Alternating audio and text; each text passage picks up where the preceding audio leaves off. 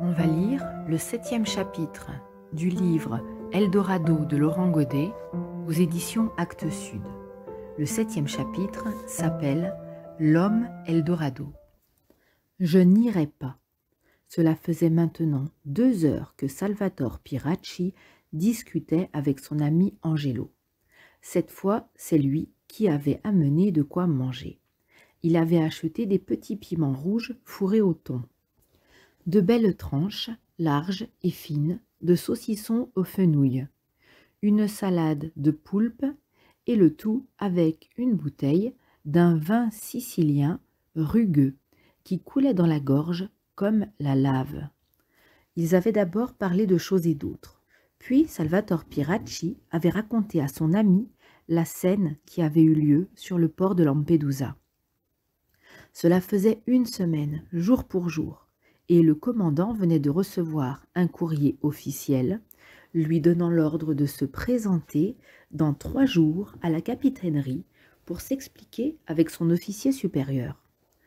De toute évidence, le colonel chargé de convoyer les Libyens avait fait un rapport. Que te veulent-ils? demanda Angelo. Je ne sais pas, répondit Salvatore Piracci. Ils ont eu vent de cette histoire, ils tiennent à me faire part de la fermeté avec laquelle il condamne ce genre d'agissement. Je n'aurai peut-être qu'un blâme, à moins qu'il me suspende purement et simplement. Et si tu n'y vas pas, euh, je ne sais pas. Le commandant se tut pour évaluer sa propre détermination, et il sentit qu'au fond il était parfaitement décidé. Depuis la bagarre du port, il avait renoncé à lui-même et il se rendit compte qu'en quelque sorte, il avait attendu avec impatience ce courrier. Ça peut être grave, s'enquit Angelo avec inquiétude. Si je voulais rester sur mon bateau et faire ce que je fais depuis vingt ans, oui, ce serait très grave, répondit Salvatore Piracci, avec un sourire amer sur ses lèvres. Mais aujourd'hui, ils ne peuvent plus rien atteindre en moi. Je n'irai pas, c'est aussi simple que ça. Angelo écoutait son ami avec attention, et il sentait bien, au son de sa voix, que le commandant était changé. Salvatore, murmura-t-il, avec douceur, comme pour le ramener à la raison. Qu'est-ce que tu dis? J'ai pris ma décision, c'est fini. Puis, comme son ami restait silencieux, il ajouta. Je n'arrête pas de penser au regard que m'a lancé cet homme avant de descendre de la frégate celui à qui j'ai dit non. Je ne veux plus être dans cette position, Angelo. Si cela devait se reproduire, demain ou dans cinq ans, je n'hésiterai plus, je le cacherai. Et j'essaierai même d'en faire tenir le plus grand nombre dans ma cabine. Mais pas tous. Je ne pourrai pas les prendre tous. Comment est-ce que je choisirais? Ce pouvoir sur la vie des hommes, je n'en veux pas. Non, on ne fait pas ce métier si c'est pour essayer de sauver ce qu'on arrête. Je n'y retournerai pas. Je ne peux plus supporter. Ces regards de demande infinie, puis de déception. Ces regards de peur et de dévastation. Je ne veux plus. Il avait parlé d'une traite, avec une profonde force dans la voix. Angelo sentit qu'il ne servait à rien de discuter. Pourquoi l'aurait-il fait d'ailleurs? En outre, il était convaincu que le commandant avait ses raisons. Il remplit les deux verres et en tendit un à son ami pour un toast. Au dernier d'entre eux. Alors, au dernier dont tu auras croisé le regard. Le commandant leva son verre. Il revoyait en son esprit le visage de l'interprète. Qu'il ait la force de réessayer et d'y parvenir, dit-il. Puis, il pensa à la femme du Vittoria. La boucle était bouclée. Il enterrait le commandant qu'il avait été. Il se débarrassait de la malchance qu'il incarnait depuis si longtemps. Il avait été obéissant. Il avait combattu la mer, sauvé des hommes et défendu la citadelle. Tout cela était maintenant derrière lui. Il ne restait plus que ses regards. Tous ses regards croisés qui avaient déposé en lui un peu de leur terreur. Combien de temps mettrait-il à s'effacer? Le hanterait-il toute sa vie? J'ai quelque chose à te dire, Angelo. Le vieux buraliste était sur le point de se lever pour aller chercher des serviettes dans l'arrière-boutique, mais il se rassit. Dis-moi, Salvatore. Je vais partir. Partir. Oui, ça fait plusieurs jours que j'y travaille. C'est bien, murmura le vieux buraliste. Depuis une semaine, en effet, Salvatore Piracci ne pensait qu'à cela. Rester en Sicile lui était devenu impossible. Cela signifiait ou se présenter à la convocation qu'il avait reçue, ou se cacher. Les deux solutions lui faisaient horreur. J'ai travaillé à mon départ, répéta-t-il. Cela fait une semaine que je fais que cela. Qu'est-ce que tu veux dire par travailler à ton départ demanda Angelo. C'est qu'il n'est pas si facile de quitter sa vie, reprit le commandant en souriant. Sais-tu que lorsque j'ai été voir ma banque pour leur dire que je voulais vider mon compte, ils m'ont répondu que c'était impossible, trop compliqué. Il aurait fallu, selon eux, les prévenir à l'avance. J'ai dû patienter deux jours, puis revenir. Signer beaucoup de papiers, les choses sont compliquées, Angelo. Quitter sa vie demande beaucoup d'obstination. Il se mit à rire de bon cœur. Oui, reprit Angelo, le monde s'accroche à nous par mille petits détails. Et maintenant? Maintenant, je suis prêt, répondit le commandant. J'ai même trouvé la barque que je cherchais. Quelle barque? demanda le vieil homme surpris. C'est comme ça que je veux partir. Non, ça non plus, ça n'a pas été facile. Je voulais une belle barque de pêcheur, sans réparation à faire. Et tu l'as? Oui, j'ai fini par trouver un vieux pêcheur qui m'a affirmé qu'avec la sienne, je pourrais aller jusqu'au Cap Horn et bien au-delà même. Le vieil homme sourit. Il but à nouveau un petit peu de vin. Au fond, cela lui semblait logique. La barque, c'est ce qui convenait le mieux à son ami. Quand est-ce que tu pars demanda-t-il. Le commandant leva les yeux et posa sur lui un regard limpide et profond qui semblait l'écho du ciel. Ce soir, dit-il doucement. Angelo ne dit rien. Cela aussi était logique. Pourquoi attendre? Ce soir, c'était bien. Alors, il faudra que je veille sur Catane, dit-il, simplement. Salvatore Piracci fut ému de cette simple phrase. Elle voulait dire que son ami comprenait et n'essayait pas de le retenir. Elle voulait dire qu'il pouvait tout laisser derrière lui avec sérénité. Il laissait la ville à Angelo, il laissait sa propre vie à un ami, lui seul penserait à lui comme il faut. Le commandant Piracci sourit. Puis il se leva. Il était temps de partir. Il s'approcha alors du vieil homme et l'enlaça. Lorsque leurs deux têtes furent côte à côte, il lui murmura à l'oreille Prends bien soin de toi. Le vieil homme voulut répondre par une dernière recommandation, mais il ne le put pas. Les larmes lui montèrent aux yeux. Il lui serra le bras avec chaleur et le laissa sortir. Ce n'est qu'une fois le commandant parti qu'Angelo réalisa qu'il ne lui avait pas demandé où il allait, ni pour combien de temps. Il voulut presque lui courir après, mais il se ravisa. Ces questions, au fond, ne l'intéressaient pas. Il avait compris que le commandant entreprenait un de ces voyages qui ne se décrivent pas en termes de destination ni de durée. Il quittait tout, sans savoir lui-même s'il reviendrait un jour ou pas. Alors Angelo recommanda son ami au ciel, en se disant que les hommes n'étaient décidément beaux que dans les décisions qu'ils prennent. Lecture du passage suivant. Lorsque Salvatore Piracci quitta la boutique d'Angelo, la nuit était déjà tombée. Les rues de Catane avaient pris leur visage de chat borgne. Les bâtiments semblaient plus troubles, plus menaçants. Il connaissait ces rues par cœur et il pensa qu'il les parcourait pour la dernière fois. Il trouva singulier de s'enfuir ainsi, de nuit, au milieu des odeurs de poissons qui s'échappent des poubelles éventrées par les chats.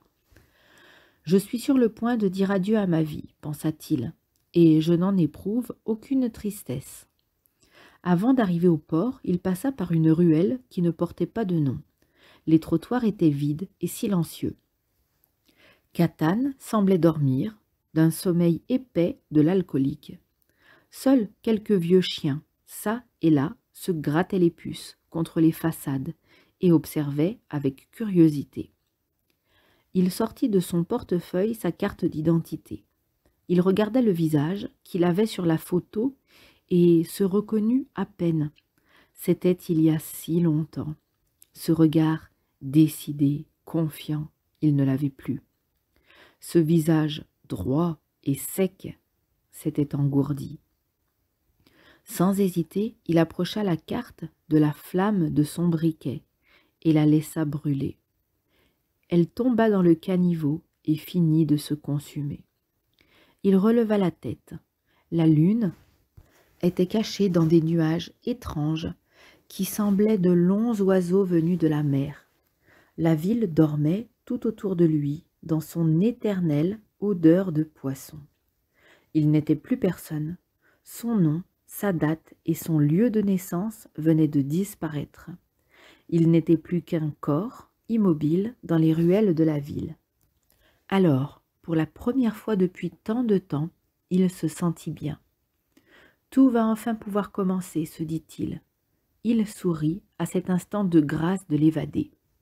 Ce qui m'attend dans quelques heures, demain, plus tard, ce qui m'attend, je n'en sais rien.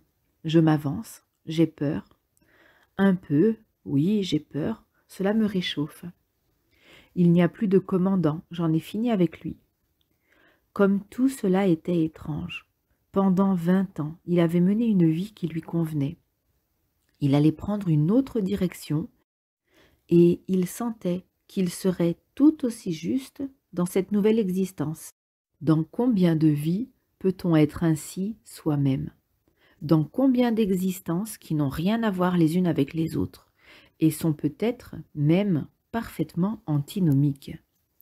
Il avançait dans les rues, et chaque pas qu'il faisait était un adieu. Puis il arriva enfin au port de pêche. C'est maintenant, dit-il. C'est maintenant. Et tout son corps frémit d'une excitation nouvelle. Lecture du passage suivant. Lorsqu'il poussa sa petite barque à la mer, il eut le sentiment d'extraire sa vie de tout ce qu'il avait si longtemps englué à la seule force de ses bras. Il s'arc-boutait avec vigueur pour que l'embarcation aille contre le mouvement des vagues et s'enfonce toujours plus en avant vers le large. Il avait de l'eau jusqu'aux genoux. De nuit, se dit-il, comme un voleur. Catane, derrière lui, ronflait comme un curé après un bon repas. La nuit pesait sur les hommes et les engloutissait. Il n'y a que moi qui ne dors pas. Le corps vif et le regard aigu, il poussait avec vigueur la barque en bois. Lorsqu'il sauta à bord, la barque tangua et fit un bruit clair de mer que l'on remue. Il trouva sous une bâche les paquets qu'il avait déposés la veille, quelques affaires précieuses, les seules désormais, qui lui appartenaient vraiment. De l'eau, un sac de boîtes de conserve, quelques cigarettes, deux bidons d'essence. Tout le reste, il l'abandonnait. Il eut une sorte de vertige à cet instant. Où vais-je? se demanda-t-il. Est-ce que j'espère vraiment atteindre un pays? Existe-t-il des côtes que je vais aborder? Ou est-ce que tout cela n'est qu'une simple façon de disparaître? Mourir cette nuit? Me dissoudre en haute mer? Est-ce que c'est cela que j'entreprends de faire, sans oser me le dire ouvertement? Il ne savait que penser. Pendant un temps, il resta immobile, le dos face au large. Tout était calme. Les lumières de Catane se réverbéraient dans les vagues. Il se dit qu'il était impossible d'allumer le moteur en pareil moment. Ce bruit-là serait une offense à la nuit. Il risquait de réveiller la ville. Un homme, quelque part, sur le quai, tournerait peut-être la tête dans sa direction, surpris qu'une barque quitte le port si tard on le verrait partir. Or, il voulait disparaître à l'insu de tous. Il prit alors les deux rames qui gisaient au fond de l'embarcation et les plongea doucement dans les eaux. Il sortit du petit port de pêche à la force lente des bras, dans un silence de poisson. Son départ fit à peine osciller les bateaux au repos. La nuit était claire, le vent était tombé. Il prit le temps, son esprit, de dire adieu à sa ville, à sa vie. Il savait qu'il ne reviendrait plus. Il repensa à Angelo, à ce vieux magasin où il avait été heureux. Il repensa aux rues qu'il connaissait, à son appartement, aux hommes de sa frégate. Il repensa à tous ses gestes et ses habitudes qui, mis bout à bout, font une journée, une semaine, une vie.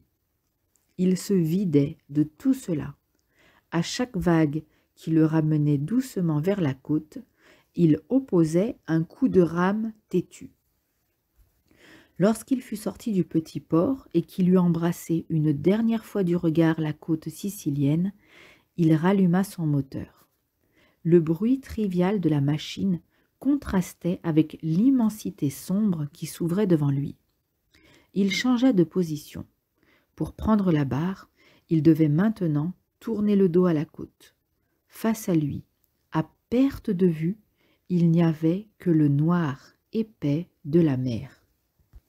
Il se dirigea, droit vers le sud-ouest, petite machine têtue qui fendait la nuit, et laissait derrière elle un dérisoire filet d'essence. Il connaissait ce chemin par cœur. Sa frégate n'avait cessé de faire cet aller-retour pendant plus de trois ans. Mais cette fois, il le faisait au ras de l'eau, et ça le faisait sourire. Catane s'éloignait. Dans sa barque silencieuse, il se sentait à la dimension du ciel. Il était une infime partie de l'immensité qui l'entourait, mais une partie vivante. Il avait peur, bien sûr, mais d'une peur qui lui fouettait les sangs. Il partait là-bas, dans ce pays d'où ils venaient tous. Il allait faire comme eux, passer les frontières de nuit. Il allait voir comment les hommes vivent ailleurs. Trouver du travail, gagner de quoi survivre. Il avait mis le cap sur la Libye, il ne savait pas ce qu'il ferait une fois là-bas. Il n'avait plus aucun plan. L'instant imposerait son rythme. Il resterait peut-être sur les côtes libyennes pour travailler ou plongerait plus en avant dans le continent africain. Ça n'avait pas d'importance. Pour l'heure, il laissait sa barque fendre la mer. Plus tard dans la nuit, il aperçut une masse énorme à l'horizon. C'était l'île de Lampedusa. Il ne voulut pas s'y arrêter. La silhouette noire de l'île lui fit l'effet d'une dernière bouée de port avant la haute mer. Le rocher qu'ils rêvaient tous d'atteindre, le rocher qu'il avait si longtemps gardé comme un cerbère fidèle, lui sembla un caillou laid qu'il fallait abandonner derrière soi au plus vite. Je suis nu, pensa-t-il, comme seul un homme sans identité peut l'être. La nuit l'entourait avec douceur. Les vagues berçaient son embarcation avec des attentions de mer. Lampedusa disparaissait. Il repensa alors, à ce qu'avait dit l'inconnu au cimetière. L'herbe sera grasse et les arbres chargés de fruits. Tout sera doux là-bas, et la vie passera comme une caresse l'Eldorado. Il ne pensait plus qu'à ça. Il savait bien qu'il allait à contre-courant du fleuve des immigrants, qu'il allait au devant de pays où la terre se craquelle de faim. Mais il y avait l'Eldorado tout de même. Il ne pouvait s'empêcher d'y rêver. La vie qu'il attendait ne lui offrait ni or ni prospérité. Il le savait. Ce n'est pas cela qu'il cherchait. Il voulait autre chose. Il voulait que ses yeux brillent de cet éclat de volonté qu'il avait souvent lu avec envie dans le regard de ceux qui l'interceptaient.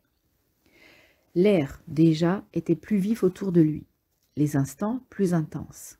Il allait devoir penser à nouveau, élaborer des plans, se battre. Il ne pouvait compter que sur ses propres forces. Comment fait-on pour obtenir ce que l'on veut lorsque l'on n'a rien? De quelle force et de quelle obstination faut-il être? Tout serait dur et éprouvant, mais il ne tremblait pas.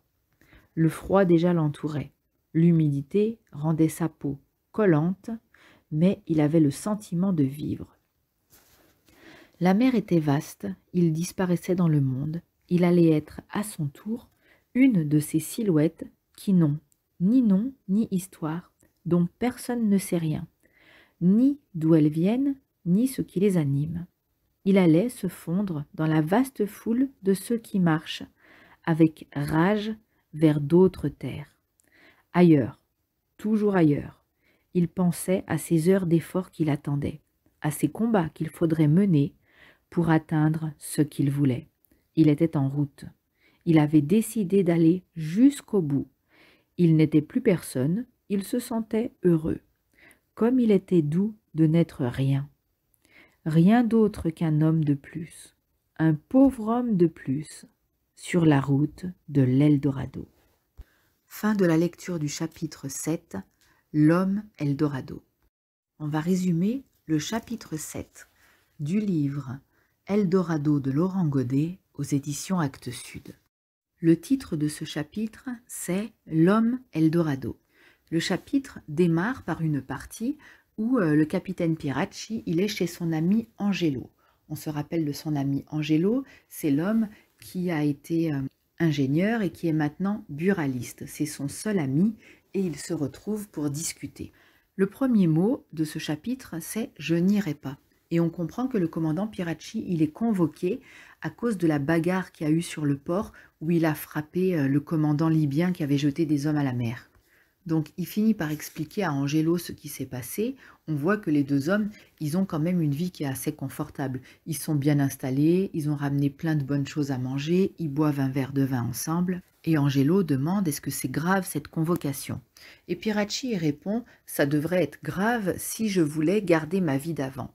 Mais de toute façon, je ne vais pas y aller et peu m'importe ce qui se passe parce que je ne veux plus continuer comme avant et il va expliquer, le capitaine Piracci, à son ami Angelo, pourquoi il ne veut plus de la vie d'avant.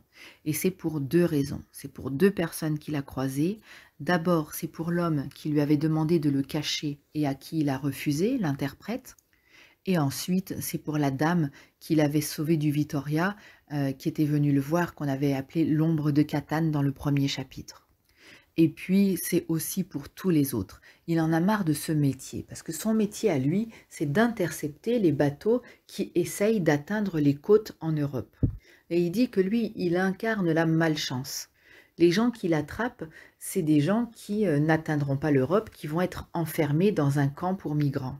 Et lui, il en a marre de faire ce travail. Il dit, si je, revis encore ça, que ce soit demain ou dans cinq ans, il dit, si un homme me demande encore de le cacher, il dit, je vais lui dire oui, je vais le cacher. Et j'en cacherai pas qu'un, il dit, j'en cacherai autant que je peux en rentrer dans ma cabine. Et après, il dit, mais en même temps, je ne peux pas faire un choix parce qu'il y en aura tellement d'hommes, je ne pourrai pas mettre tout le monde. Et c'est quand même pas à moi de choisir qui doit vivre ou pas vivre l'accomplissement de son rêve. Donc il dit c'est une position qui est intenable et je ne veux plus faire ce travail-là. Donc il dit, le capitaine Piracci, à son ami Angelo, la seule solution pour moi, c'est de quitter cette vie et je m'en occupe depuis plusieurs jours. Il travaille à ça.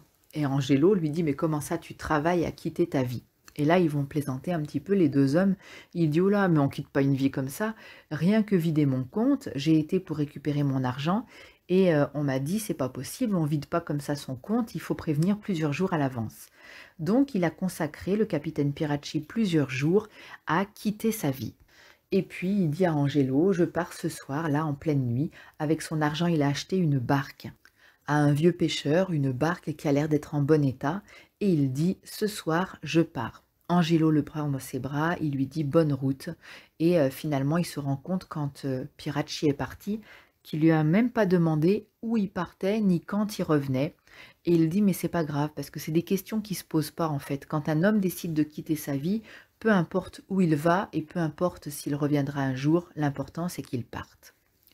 Ensuite, il y a un petit passage où euh, donc le capitaine Piracci va partir, il va quitter la ville de Catane et en même temps il y a toute la ville endormie autour de lui et lui il va avoir un geste symbolique qui est quand même un petit peu problématique euh, si jamais un jour il veut revenir, il ne pourra pas, enfin très difficilement en tout cas, parce qu'il va brûler sa carte d'identité. Et il dit à partir de là, il est un homme sans nom, sans ville de naissance, sans âge. Il n'est plus personne. Et dans la troisième et dernière partie de ce chapitre, on va comprendre pourquoi. En fait, c'est parce que il a envie d'être finalement comme ces migrants qui partent, il a envie d'avoir un Eldorado, d'avoir un objectif, d'avoir un rêve. Et lui, finalement, il part à contresens des autres migrants parce qu'il quitte l'Italie en direction de la Libye. Mais il part avec un espoir. Il dit, il sait même pas ce qu'il fera en arrivant. Peut-être qu'il travaillera, peut-être qu'il euh, trouvera des choses à faire ou pas. Et euh, il dit, c'est vrai que c'est un peu le contraire de l'Eldorado, parce que euh, l'homme au cimetière lui avait dit, euh, c'est une terre de prospérité où il y a l'herbe est bien verte, etc. Et il dit, et lui, il part dans l'autre sens, il part en direction de la terre qui craquelle de faim. Mais étonnamment, même s'il est un peu à contresens de tout le monde, il se dit que c'est une nouvelle vie et ça le rend heureux. Il va passer à côté de l'île de Lampedusa. Quand il va passer à côté, elle va un peu lui, lui, pas lui mettre les jetons, mais elle va en tout cas euh, lui faire un peu peur, ce gros rocher. Il dit qu'il euh, y a beaucoup de gens qui voient ça comme un objectif où arriver. Lui, il voit ça comme la dernière bouée de quand on quitte le port. Et donc il ne s'y arrête pas et il continue à avancer dans l'autre sens, en direction de la Libye. Les dernières phrases de ce chapitre, c'est « il n'était plus personne, il se sentait heureux » comme il était doux de n'être rien, rien d'autre qu'un homme de plus, un pauvre homme de plus sur la route de l'Eldorado. C'est intéressant quand même ce, chapitre parce qu'en en fait il trouve que quand il a tout et il est un capitaine de bateau dans une frégate et qui doit surveiller la citadelle, finalement il a un petit peu tout à perdre mais il n'a rien à gagner et il rend les gens malheureux. Alors que si lui n'a plus rien, d'un côté il lui reste au moins l'espoir il est un petit peu tout en bas de l'échelle de la réussite. Il a plus de carte d'identité, il a tout vendu, il a plus qu'une barque. Mais il est dans une situation où il dit qu'il veut être comme les autres qui ont dans les yeux la lueur de l'espoir. Et c'est la fin du résumé de ce chapitre 7.